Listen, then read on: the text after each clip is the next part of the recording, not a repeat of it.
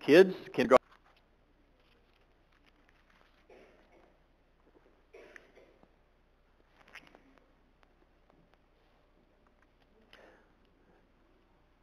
What's wrong with a cup of water or a drink of water? Say, well, there's... Oh, I did talk about water, didn't I? Yeah, go on. Go on. You're not in here. what is wrong with a drink of water? Too much chlorine.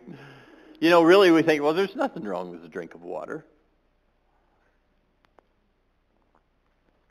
Actually, Radonna has a point because she really wants more drinks of water and is limited on that. Hopefully, turned loose maybe even tomorrow on that, that she can drink more water. But there's a passage in Scripture, and it, it's more than once that it's recorded. Um, I have in particular 2 Samuel 23 that I'm going to be reading it out of, and, and you can see it in 1 Chronicles as well. And it's one of those you think, well, there's a lot of important stories in the Bible that aren't recorded twice. And yet here we see this being recorded and, and restated again. Of course, it's the history of what was happening with David. If you don't know the story of David, who, who was king of Israel, um, he followed Saul, and it wasn't, it wasn't an easy transition. I mean, during the process, and, and David was, he was loved by Saul at first, and then he was hated by Saul um, because of, everybody knows the story of David and Goliath, and, and David um, getting all of this praise that was coming to him because he, he ended up being a mighty warrior, but he was also anointed by Samuel the prophet to be king, and Saul ended up just absolutely hating David. Saul was king. He hated David. He wanted to kill David. Saul's son Jonathan and David became extremely good friends. I mean, they loved each other like brothers. And, and Jonathan actually helped in the escape of David when he was leaving. And there was a lot of things that happened. Eventually, Saul and Jonathan as well got killed in battle. And it was, and the Philistines were, they were wreaking havoc with the people of Israel. Um, really going back to how, how Saul was leading Israel and the evil in his heart and the things that were happening with that. But David found himself in many cases hiding. Um, even though he had, he had many men with him, they were greatly outnumbered by the Philistines. And God delivered them on a lot of occasions, but there were occasions that they just had to, they had to lay low. And this is one of those occasions, and I'm going to read in 2 Samuel 23, beginning in verse 13. And if you read earlier than this, you start reading about in verse 8 after you see this Psalm of David. And this psalm isn't included in the rest of the Psalms of David. They're in Psalms, but in the first part of, of chapter 23, which is a really interesting psalm.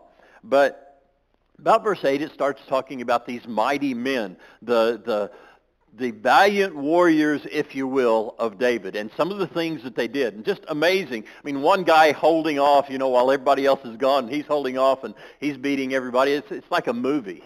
And, and you see all these things, even though it's kind of shortened down a little bit. But then in verse 13, it says, Then three of the thirty chief men went down and came to David in the harvest time to the cave of Adullam, while the troop of the Philistines was camping in the valley of Rephaim.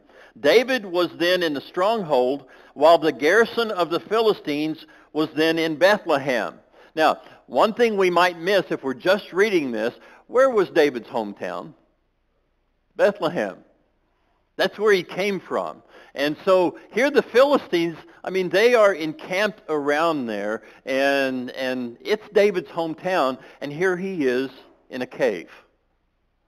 Now, Anybody ever sat around in a cave for a little while? Besides me? Anybody? okay, you just it when we were kids, we loved to go in caves, and we got into some precarious situations every now and then. But there were some really good caves that we could go in, and you just go in there and and you know even maybe just turn off the lights and just sit there and talk and and uh, it was it was just kind of an interesting thing and you know especially in I'm glad most of the kids are gone, especially if nobody knew where you were. you know, you know, you thought you were getting away with it. Actually, you were kind of getting away with something because they were supposed to know if we were going in caves. But here, you know, you have this situation, you're sitting around talking, and if you've never been in a cave, you've been in a situation where you were just sitting around talking. Like, we haven't had a situation this year. Anybody lost their power yet? Any weather, anything? All right, yeah, a few. Um, you know when the power goes out, and you, you find yourself sitting around talking about things maybe you haven't talked about for a long time, visiting with one another, maybe playing some games, I mean, killing some time. They're sitting in this cave, and, and David makes a statement, and you can, you can almost, you can almost fully get the feel of this. The Philistines are down there in Bethlehem, and he's probably thinking about that, remembering when he was a boy, he was a shepherd. And says, oh, what I wouldn't give for a drink of water from the well in Bethlehem. You remember maybe those times as a kid that something just really stands out to you. Something, maybe it's a smell, maybe it's a song, maybe it's a drink of water. Maybe it's peanuts in your Coke. I don't know what it is. You know, it's, I mean, there, there are those things that, yeah, some of you know what I'm talking about, right? But there are those things that kind of stand out. And here's David, and he's sitting in the cave, and he says, oh, that I just had a drink of water from Bethlehem. I don't think David was trying to give anybody a hint. I don't read that into this, that that's what's going on because of some of the things that happen after. Now, there was a little boy, and I'll tell you, I read this, and I just got to share it with you, but the little boy that was praying um, with his mom had come into the room and and and uh, they were at grandma's house and and so he was saying a prayer and he was praying for this one and for that one and God would you please um, bless this one and help this one to get well and as he went on to the prayer he kept getting louder and louder until he got right to the end of the prayer and he said, and please let me get a bike for my birthday. And the mother says, I don't think you have to shout. God's not hard of hearing. He said, no, but grandma is. So, all right, that, he was meaning to give a hint, right? I don't think that's what David was doing. Let's read it and, and see what happens. Verse 15. David had a craving and said, Oh, that someone would give me a water to drink from the well of Bethlehem, which is by the gate.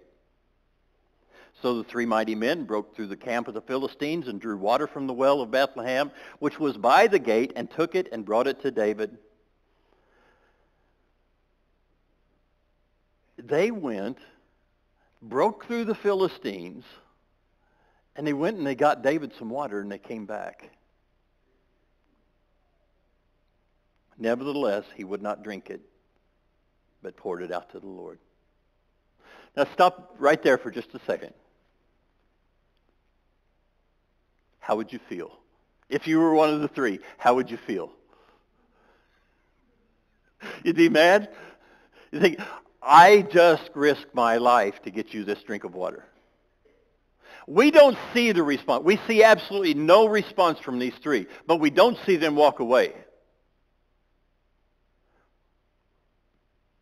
But David takes the water that they brought back to him. They, he just expressed that he would love to have a drink of water from that well, and they go and get it. That is how dedicated these men are to David. He is their Lord, their master, their leader.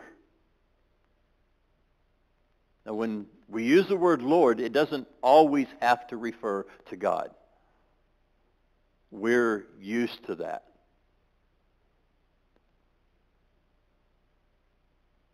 He was the guy. And if he said he wanted a drink of water from a well, they were going to get it. And they did. As we read on, you know, these weren't the three most mighty warriors that he had. These were three of the 30. There are others that are mentioned in the things that they could do and the things that they did do. But these guys went and they got David some water. And he takes it and it says he pours it out to the Lord. Now listen what he says. And maybe this makes all the difference in the world. Verse 17, and he said, Be it far from me, O Lord, that I should do this. Shall I drink the blood of the men who went in jeopardy of their lives? Therefore he would not drink it. These things the three mighty men did.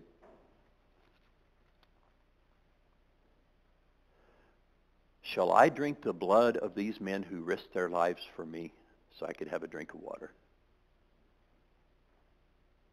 David calls it blood.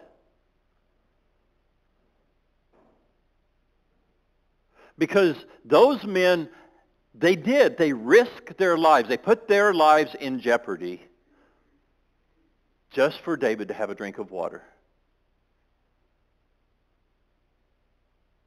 How precious is a drink of water? Maybe it depends on what it took to get it. You know, there's no indication that, I mean, it doesn't say anything about that they drank water on the way back. You know, they got a lot of water and brought a lot of water to everybody. No, they just got a drink of water for David.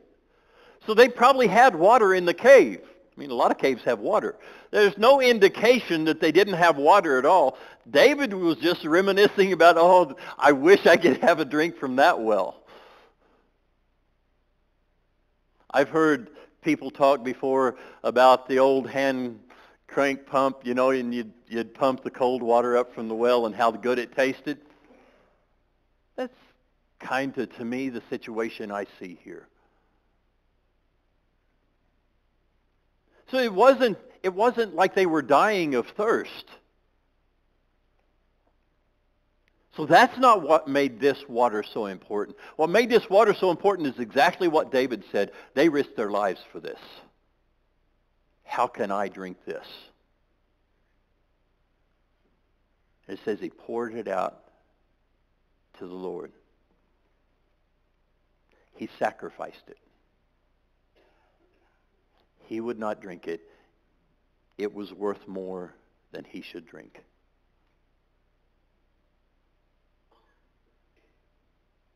In this case, that's what was wrong with this cup of water. It wasn't wrong to give it to God. It wasn't wrong for these men to go and get it. But David said, far be it from me to drink this. These men risked their life for it. There's a lot of situations that something maybe as simple as a cup of water. That something isn't wrong in and of itself.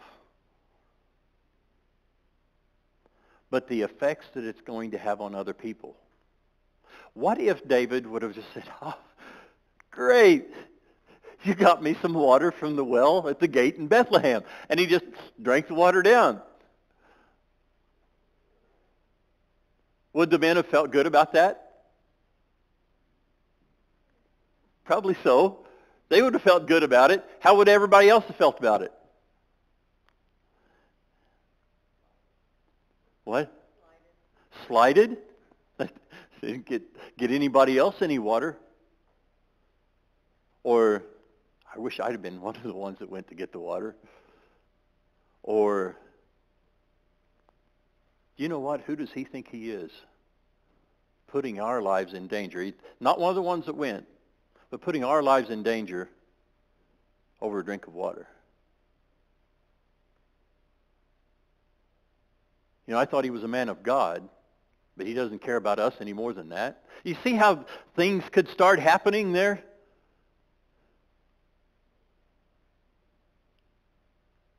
And so it could have been absolutely the wrong thing to do, just to drink a cup of water. An arrogant thing to do, maybe even. Like, well, I can drink this water if I want to. They brought it to me. They do what I say. I mean, I really didn't intend for them to, but I've got the water. I'm going to drink it. It's my right.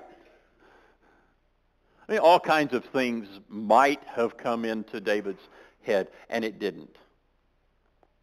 But all kinds of things come into our heads at times when it's something that maybe isn't wrong in and of itself. But we think, well, they gave it to me. Well, it's my right. There's nothing wrong with it.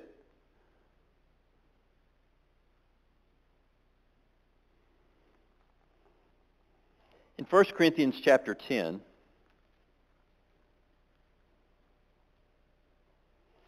there is that discussion.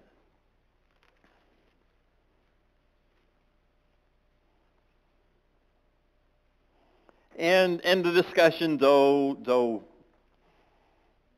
somewhat different in context, isn't a whole lot different in application.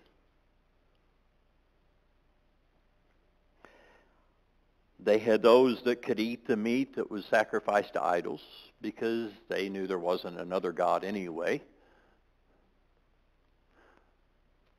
But then they had those who had always worshiped another God up until this point of believing in Jesus Christ and now laying that aside. But in that part of that worship that they had, had gotten used to growing up, when they would eat of meat that was sacrificed to those idols, they were still in worship to that idol, to that God in their minds.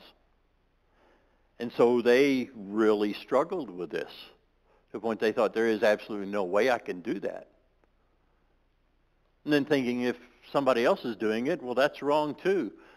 Somebody else thinking, well, they could eat, so I can eat because there's there's not another God anyway. There's nothing wrong with that meat. And you can see the, the dilemma that they were in and how some people were approaching the situation thinking, it's my right. I can eat this meat if I want to. And there's a statement that's made over in verse 23. Paul says this, all things are lawful, but not all things are profitable. All things are lawful, but not all things edify. Let no one seek his own good, but that of his neighbor. He goes on with instruction for them, such as don't ask any questions. If you don't know it's meat that's sacrificed to an idol, and nobody's making a point that this is meat that's sacrificed to an idol and they're selling it in the marketplace, don't ask any questions. It's meat. But if somebody says, this is meat that's sacrificed to an idol, why don't you buy some of this and be a part of this?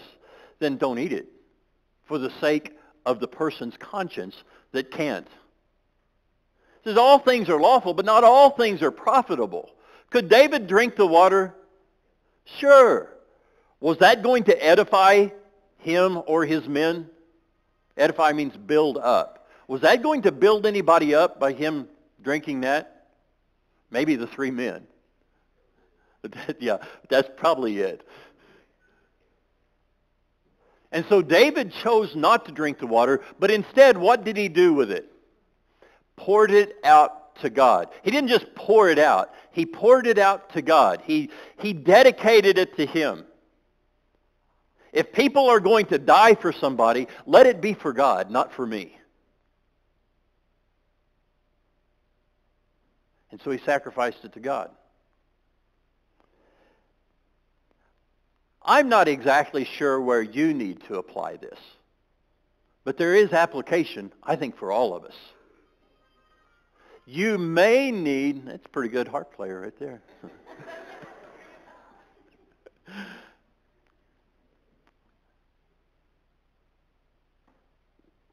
we may need to recognize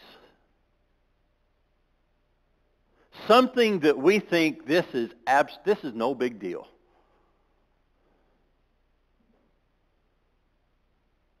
It's no more important than a drink of water.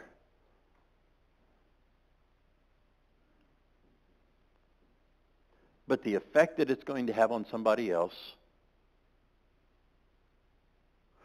or what somebody else has had to go through to get to this point.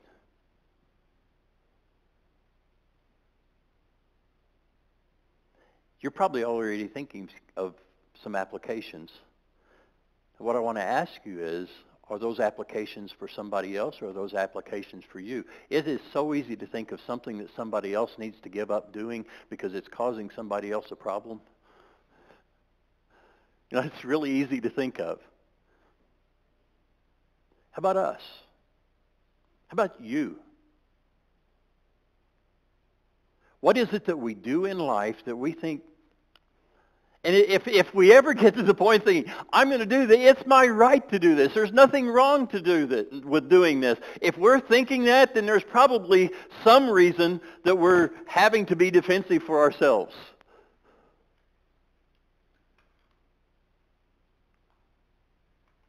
And what's it doing to somebody else? Is it putting them in jeopardy?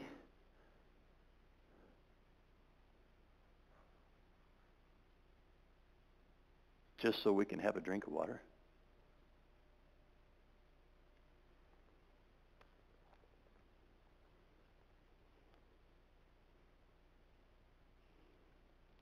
Let's think about those three guys for a minute.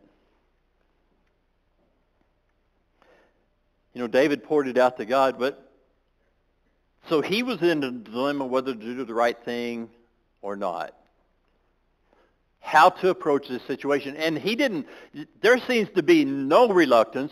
There doesn't even, even seem to be any wavering back and forth with David. It just seems to be immediate.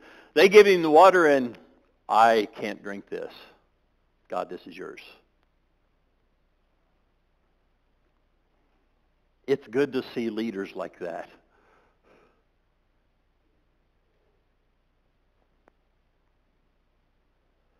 These three guys, did they do the right thing? David said it. He expressed a desire, and they went for it. They were so dedicated, they it was almost like they didn't even think about it, whether it was going to risk their lives or not. They had full confidence that if David wanted a drink of water, God was going to bless him with a drink of water, and he was going to use them to go and get it. That is the way that these guys were approaching things. When one guy could hold off hundreds with a sword, breaking through the Philistines and drawing some water from a well and running back to the cave, big deal. I mean, that's, they were approaching things that way. They weren't looking at the danger. They weren't considering their lives any more important than getting David a drink of water from the well he desired one from. Man, what an example of dedication to their master. What about us? How's our dedication? How often do we pause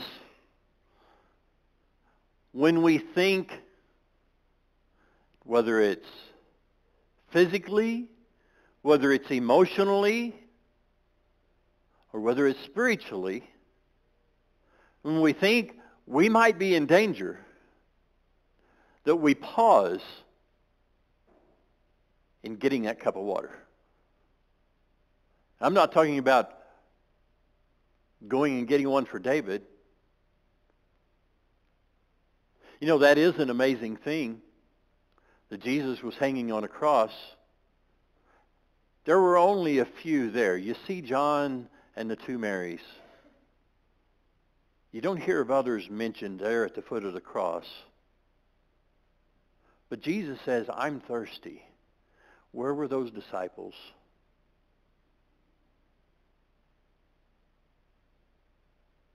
He said so very little. But he said, I'm thirsty. Vinegar soaked in a sponge, lifted up to him.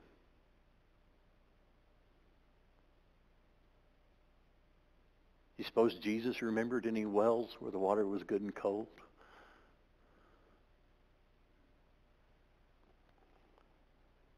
Say, well, we can't be back there at the cross. We weren't there. No, we weren't. But are we? another passage is in Matthew 10. If you guys want to come up, you can.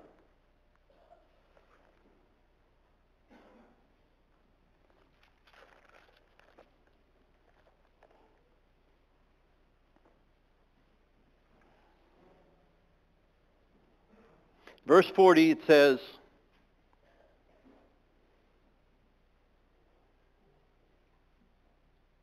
For he who is not against us is for us.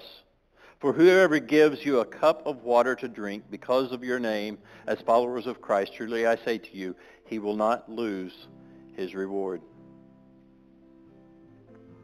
If somebody gives a cup of water to one who is a disciple of Jesus Christ, they will not lose their reward. Because Jesus said in passages like Matthew chapter 25, even as I mentioned earlier, that if we've done it unto the least of these my brethren, Jesus says, you've done it unto me. Or if you have not done it unto the least of these my brethren, you've not done it unto me. That if we have the opportunity, even just to give a cup of water, What will we risk to do that? Most of the time, I mean, we have the opportunity to do a whole lot more than just give a brother or sister in Christ a drink of water. But if it was that simple, Jesus says, you won't lose your reward.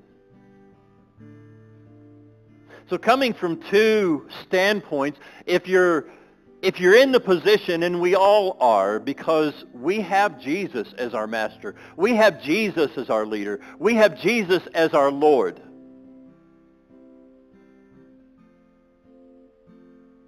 And if we see nothing else in the desire of Jesus, it's that all men would come to him. He says, and I will be lifted up from the earth to draw all men unto me. What he wants more than anything else. I think if we were sitting around in a cave talking and Jesus would spout out some desire that he had, if it was more than anything else, that would come out.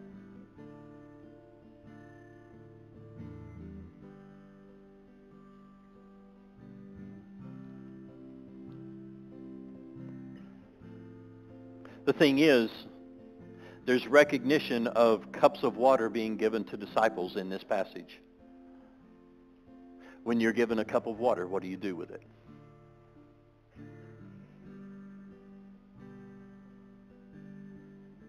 I don't know where all the applications went. I don't know where all of your minds went. I mean, that's up to you. Hopefully we've looked into the Word of God at a story and you think, Man, that one made it in there twice. Why? I think we can see why. There's an importance for everything that's in here. It's all about bringing us back together with God as people. So if you need to respond to this in some way, if this is spoken to you as God's word, come as we stand and sing.